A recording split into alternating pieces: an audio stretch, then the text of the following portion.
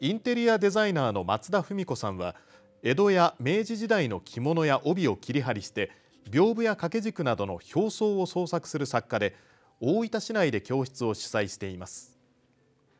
県立美術館では今日から松田さんや教室の受講生ら合わせて20人の作品150点が展示されています。